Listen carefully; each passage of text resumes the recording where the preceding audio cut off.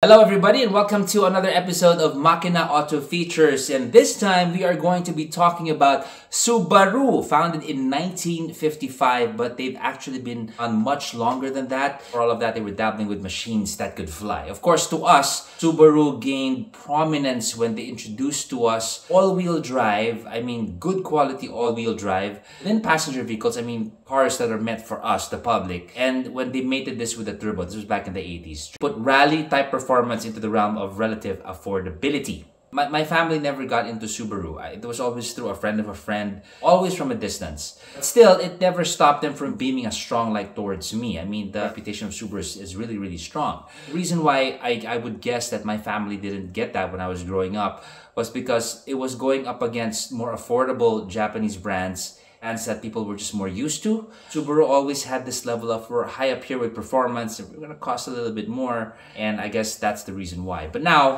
things changed. Why? Because my brother ended up buying one. I'm like, really? You bought a Subaru? Okay, game. Pahiram. so uh, that got me really excited and I, and I went over to his place and I borrowed it. This, folks, is the recently updated Subaru Outback. This is Makina Auto Features.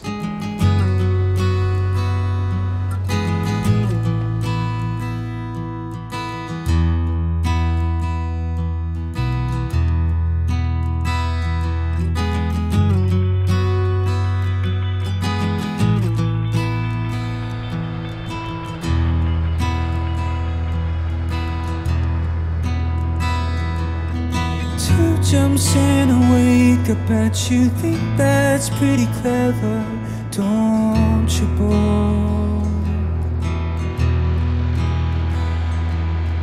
Flying on your motorcycle, watching all the ground beneath Subaru Outback, when we say crossovers, as far back as we can say crossovers, the Outback has always been a top choice on the table. Subaru came out with this iteration of the Outback three years ago. Now we have an aesthetically revamped, younger looking Outback with lots of cool upgrades here and there, peppered with some substantial safety features making this a compelling car to consider in this segment.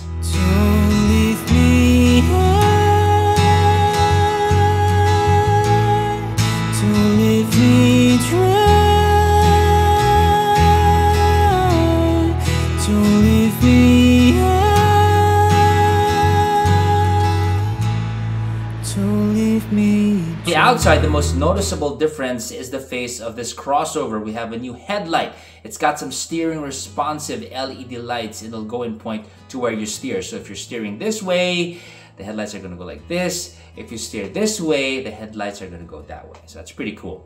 The lower cladding, the lower bumper has been redesigned and the grille is also now bigger. Overall, it's like the Outback took a sip from the fountain of youth, looks younger and quite relevant with what's going on in the world today.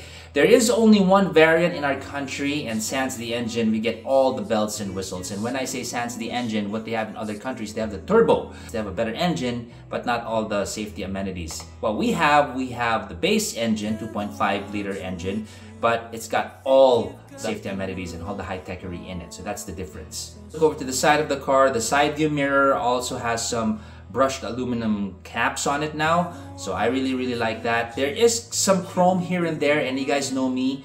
If you watch uh, a lot of my bike reviews, I always say that I'm not a big fan of chrome. So you've got some chrome here on the door frame. It's okay, but it would have been better if it, were, if, if it was aluminum, I think. In the rear, it looks pretty much same same, except for the lower part of the bumper, which has some metal trim right now. In the wheels, we have 18 inches. The other countries, they get 17s. And tailgate is now power operated and the other variants in other countries they have a camera, a rear view camera that's integrated with a mirror and that camera is mounted on the shark's fin at the roof. What we have right now is just a simple analog mirror.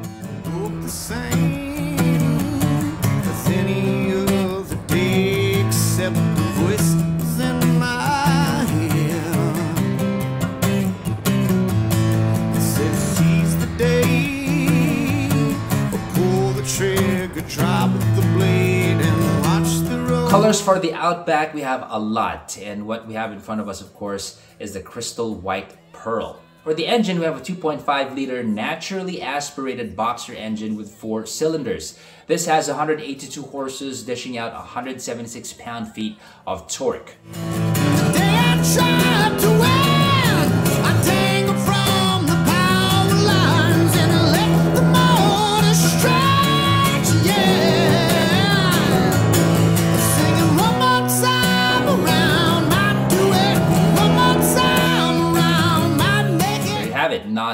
Bad, especially for where we are at in this world. Now, I would understand if in places like in Europe where the highways are really big, in the United States, the average speed cruising, these highways would be around 80 miles per hour or 130 kph. Would need that extra umph, get or take those speeds. And where these countries are looking for V6s, 8s, and where power is really needed. In our country, where are we gonna do that, right? We're probably gonna be overtaking at 60, 70, or 80 kilometers per hour. And during those speeds where we can really use this power, that's where it would matter for us. Okay, now this is a pretty clean engine bay, pretty clean layout. Again, you can see the quality that it is offering in this price range. Very, very nice. And this is not like uh, some of the other European cars where everything is just closed. I kind of see some of the guts. I kind of prefer it that way as opposed to everything's just covered up. Everything is in place. Pretty good. Very, very nice. Of course, the pro side of this scenario, of this configuration with the Subaru Outback is efficiency. The power that it's giving and the efficiency it's giving, it's pretty good. Also, it's got a CVT transmission and that's also very economical. Although I'm not a big fan of CVTs regardless of what brand is in front of me. I just prefer a good old automatic. Although this car, I feel there has a, a bit of pseudo shifting. They just place it in there somewhere and I can't put my finger on it. It's there somewhere, but it's not the same thing.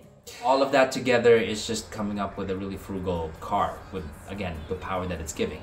Frugal, I mean this car can do 13.6 kpl the highway and when you're in the city between 9 to 12 kpl, so absolutely not bad. The Outback still has the same AW Tech all-wheel drive technology and it is simply just one of the best that the world has seen.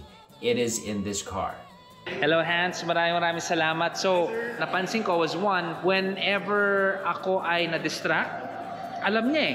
So can you tell us about that? What's that feature? We have a system called driver monitoring system that offers a personalized driving and there are sensors inside the interior that can sense your eyes to wherever it is looking. You're driving and then natingin ka dito.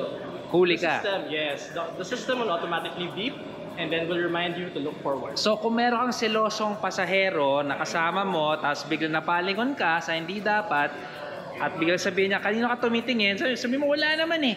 Eh, huli ka na nga ni Subaru Outback na tumitingin ka sa hindi mo dapat tinitignan. so basically, it's keeping your eyes on the road for safety. Okay, Yes. great. Okay, let's fire it up.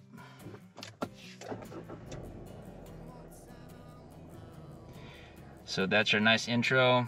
What's cool about this, it, it has face recognition and it will adjust your settings, how high your steering wheel is, your, your seat and all of that through face recognition. Other cars a few years back would have like set one, set two, set three. It would have it here on this side too. Depending on who's using the car, you just gotta manually press the button on who's assigned to what. I'm gonna shut it down really quick and this is really cool. This is the first time I've seen something like this in a car. And if I shut it off, it'll tell me this. It says, reminder, look in rear seat. and I actually felt the need to do that. And why does it do that? It reminds you if you need to get something at the back, take a look at your kid, right? Before going down.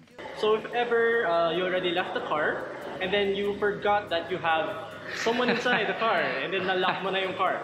So automatically the car will alarm and remind you that to check the car as well.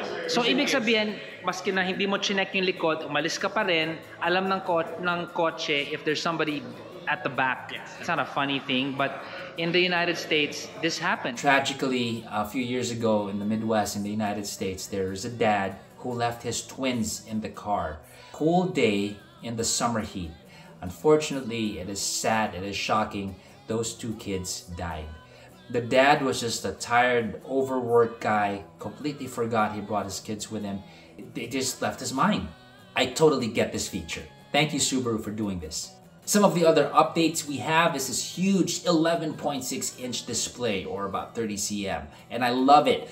Many things to check when you go in deep. Again, same, if you know how to get into a modern phone, you'll figure this one out easy. I'm also digging how we have some analog knobs integrated with the screen and everything is not touchscreen. Nothing like good old knobs and buttons, I always say. Our head unit, this is pretty impressive too. It's nice and big. You got your car info, driving statistics, uh, your maintenance schedule. Very, very nice. Oh, here's home. Let's go to radio.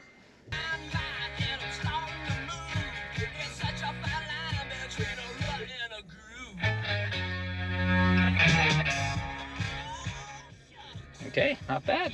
Of course, a lot of access to the head unit um, can be accessed through the steering wheel, which is pretty much the norm with practically every car out there already. You can also connect your phone with this to access Android Auto wirelessly before you had to plug it in. That said, it still has some connectivity. We have USB slots for Type A and Type C at the front and Type A at the rear. Ah, nice. Good quality, good quality. Now, if I were to nitpick, like absolutely nitpick and say if there's anything here that's not up to par with the luxuriousness that Subaru is offering in the Outback, I would say it would be the plastic here. It's not bad, okay? It's, it's okay, but it's just not this level.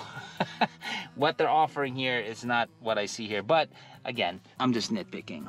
Apart from that, everything's pretty good. So this is like, you know, it's like, it's, it's a bit fast. It's like, Wah! Open! Wherein, as opposed to, it, it could be like this. Right? Slow and elegant, and just put your shades there, your glasses, or whatever, you know? Condom. For space, I am 6 feet tall and yes, it is pretty roomy for me everywhere. Seating position, it's pretty comfortable, it's pretty hand in glove for me. And uh, for all you shorter folks, don't worry, you can adjust everything to your body, no problem. For space, gazing at the Outback, it looks long, right? But the allotment for that is more for bringing along stuff. Room we are at 100 cm or 39.5 inches, so it has more space than the RAV4, but it's going to be smaller than a Honda CR-V you'll have more cargo loading capacity. So give or take, there's a trade-off. Space at the back, it's pretty decent and substantial at 2.1 cubic meters of space with the rear seats down. With the rear seats up, you're gonna get a cubic meter. So against the competition in this segment, it's only the Honda CR-V that can outspace this. Harman Kardon sound system. So if you pull this, this one too. So what would be nice if I pull this that thing would automatically go back but you can't have everything. Now let's talk about EyeSight. This is Subaru's proud moment. It is their active safety feature and for this year it has been updated. Camera has a wider field of view. It's got a brake booster, it's got collision warnings, automatic emergency braking, adaptive cruise control, and lane centering, which I actually really, really appreciate. I tried uh, Sorento in Florida last year uh, in the highway, I put the, the, the adaptive cruise control. It was okay, but it felt like it was a bit delayed, like last minute. Are you gonna turn? Are you gonna turn? And you want to just grab the steering wheel. Um, but this one, it was just dead on, very responsive. It was reacting as the curve was happening in the highway. So good job, Subaru, with that one.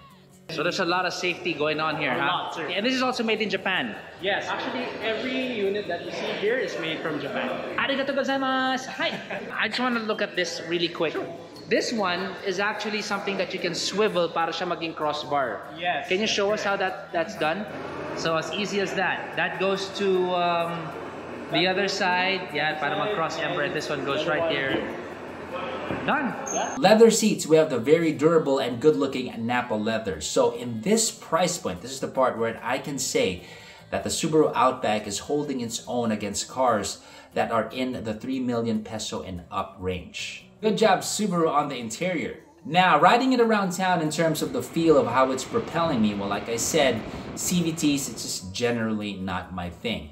That said, there's still some effort put into this. It's got an 8-speed manual mode, which is alright. You can access that through the paddle shifters. Because of how it's designed in conjunction with the engine, you're gonna get more umph and fun in the higher rev range. You just gotta dig into the pedal to get more or feel the power of the car. Suspension front and back is pretty balanced. Ground clearance, it's like it's built for the PH, so you can handle some big humps in the village fine. For its size, I was expecting a lot of roll, but to my surprise, it was actually keeping upright really well. Turning, you're, you're expecting the whole thing to roll, right? But no, it's nice and steady and upright. Good job on tuning the suspension for that. Now visually with my size in the cabin, the B pillar and the A pillar, it's not as thick as some of the other modern cars nowadays. We have lesser blind spots in this car. So visually, it's safer than a lot out there. Get a nice good view around. Front, peripheral, and with your rear view mirror. One of the plus points for this car is how quiet it is. Well, the quietest car in my garage right now is a 2012 ML350 Benz. Now that is a really quiet car considering it's a diesel. Now, compared to my GLA 180 though, a smaller Benz, the Subaru actually muffers more high frequencies. It's a pretty quiet car. So there are certain parts around the metro wherein the road noise would be louder, depends on the kind of road you're on. The thing with the Subaru, first impression, it's a big wow thing. As soon as you step in, it's like wow.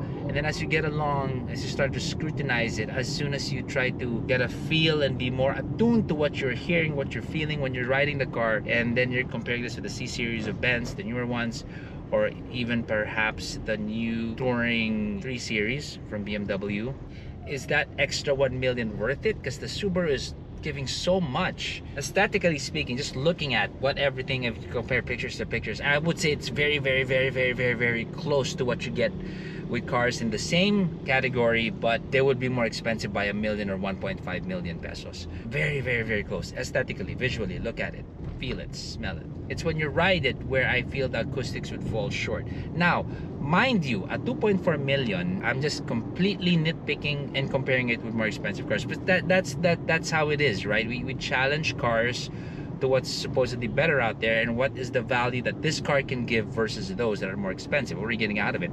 So far, so good aesthetically. It's just that in the acoustics part, those other cars are just really more quiet. Where does the Subaru Outback shine against the other compact crossovers out there? I'd say it would be with reliability, the space it has to offer, and all the safety thingamajigs that this car has. So that said, with anything out there, peso to peso, you won't go home feeling bad. Ah, there's something better out there. No, this car can go up against anything in its segment. And as I always say, there is no perfect bike out there. There's also no perfect car out there. I have a challenge for Subaru. Since we're already with all of these high techery, right? I think if they put wireless charging for our phones, that would be killer. Like a little spot in the car where you can place your phone. That would be great for the Outback. Another suggestion I have for Subaru that maybe they can improve on with this car is maybe in the future variants, they can already integrate hybrid technology with this one because a lot of the other brands are already doing this. You're seeing it popping up left and right. Not taking it against Subaru in the sense that Subaru is Subaru. They're, they have something up their sleeves. I am sure. It's just a matter of when are you guys going to do it. So I think if there's going to be another update for this particular Outback model, I think hybrid technology would be great. So there you have it, 2.480 million pesos gets you this baby. You get impressive safety tech, you get to experience and own Subaru all-wheel drive awesomeness. It's great on-road, it's great off-road, plus you get this feeling that you're driving a car that's worth and valued at 3 point something million pesos and up. So it's a deal right there. This is Zach from Makina Auto Features. Ciao.